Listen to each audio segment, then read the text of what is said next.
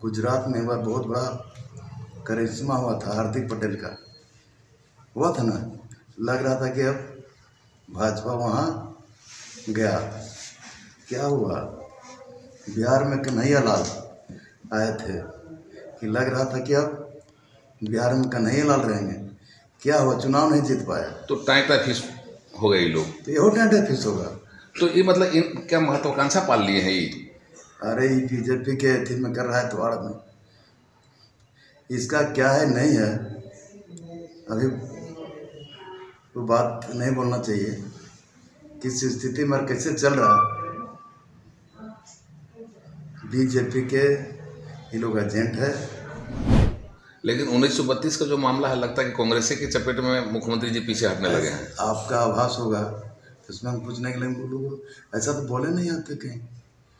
कि कांग्रेस के लोगों ने सुबह नहीं चाहिए ऐसा बोले क्या कांग्रेस के नहीं ना कांग्रेस के चलते ही शायद आप लोग चलते ना कोई बोला है क्या?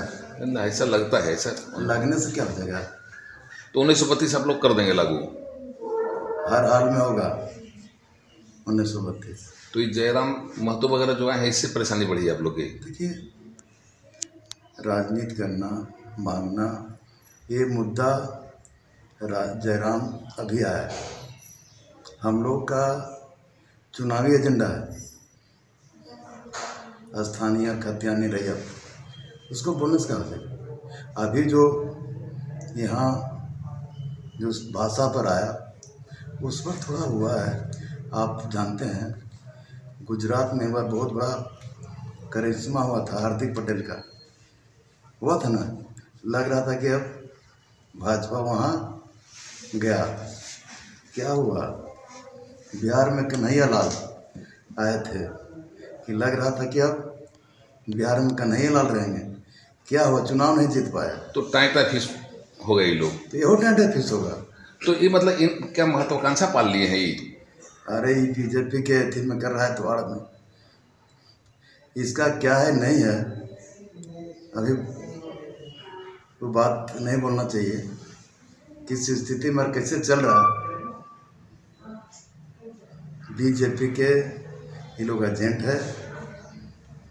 बीजेपी बहुत सातिर दिमाग के हैं।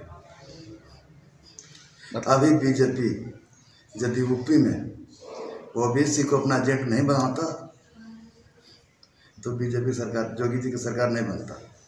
100 सीट में 500 हज़ार वोट सहारा है ओबीसी के चलते ओबीसी के चलते।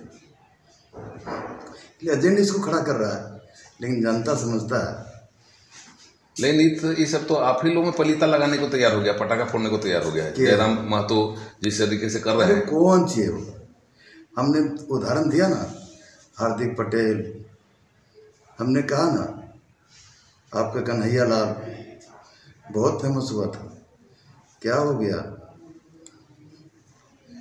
उन्नीस सौ बत्तीस को लेकर तो हम घूम रहे हैं।